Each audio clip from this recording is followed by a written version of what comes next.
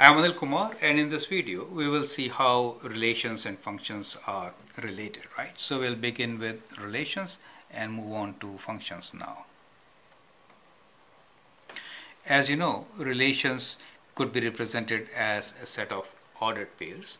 For me, taking ordered pairs is very important and easy. For example, ordered pair is xy, right? So that is the set of these xy's could give you a relation and from here we will try to see whether a relation is a function or not.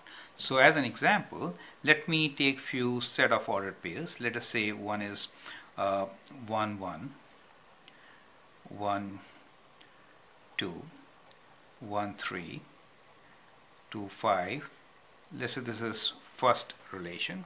Then we have another relation which is uh, let us say 1 1 and then we have uh, we have 4 4 1 okay we have 7 1 10 1 okay so this is another relation. And let me take one relation as 1 1 uh, 1 uh, let me write this as 4 3 5 2 0 0 so we have three different relations here, right? So let me name these relations as A, B, and C. Now all these three are relations and what do we note here? We note here that each element is X and Y. They have a relation, X is linked with Y. Now in the first relation, 1 is related with 1, 1 is also related with 2, and 1 is also related with 3, 2 is related with 5. In the second relation, what we find is that all the inputs, these x values represent the inputs, all the inputs are related with one output, which is 1. And in the last case, we have kind of one-to-one -one relation where each input is uniquely related with an output, right? So, so we have three different kinds of relation uh, we understand them as many are related to one right? So and this is one is related to many. Here one is common. So this is one to many one to many relation. This one we have many are related to one so we can call this as many to one relation. And here we have one to one one-to-one -one relation. Now these are all relations, correct? So, so all relations have some kind of relation. It could be one to many, many to one, one to one. Now what are functions? Now functions are relations in which input and output are uniquely related, right? So if if each input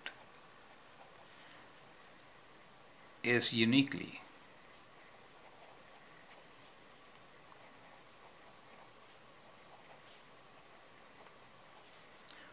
With an output then it is called a function right? So so that is how function and relations are related. So all functions are relations, remember that. Now only relations in which every element in the input side is uniquely related with the element in the output side, only then it is a function. So every element should be exactly related with one. In this particular case, one is related with many, so therefore the first one is not a function, right? So the first one is not a function. The other two, 1 is related with 1, 4 is related with 1. So each element is related with exactly one element in the output, right? So, so these are functions.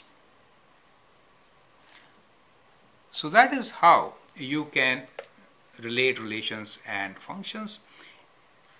All functions are relations and the relations in which the relationship is many to one or one to one will be a function, the others won't be, right?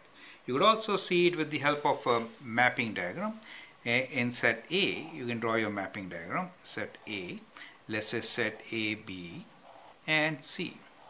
So let me put these elements here. To show you the mapping diagram, first one, we have one here which is linked with 1, then 1 is linked with 2, 1 is also linked with 2, 1 is linked with 3, 1 is also related with 3, and then 2 is related to 5.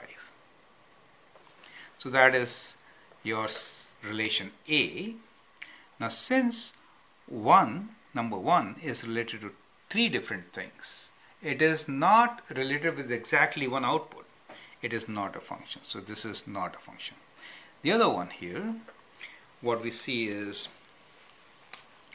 1 is related with 1, right? So that arrow shows the relation. 4 is related with 1, okay. 7 is related with 1 and uh, also 10 is related with 1, right? So the arrow is this side. Important thing here is each input has exactly one output. Each input has exactly one output. Here, this input has more than one, therefore it is not a function, this is a function, right? The last one here is, let me use a different ink, okay, 1 to 1, 4 to 3, 5 to 2, and 0 to 0. This is one-to-one -one relation, also a function, right? So these two, as you can see, are both functions. These are both functions. Since every input is related with exactly one output. Do you see that? So that is how from the ordered sets we can figure out whether it is a function or not. Easy ways check the inputs. If you have more links to one input, then it is not a function, right? The other part we see is check domain and range. In domain, if you have less number of elements, then it is not a function. However, if we have same number of elements or more number of elements in domain, it could be a function. But if we have less number of elements in domain than range, then it is definitely not a function. So these are different ways in which you could check whether the given relation is a function or not, right? So just check the inputs. If the inputs repeat, as in this case, therefore, since it repeats, it is not a function. Well, output can repeat. Do you see that? So that is important to understand. I hope it is clear. Thank you and all the best.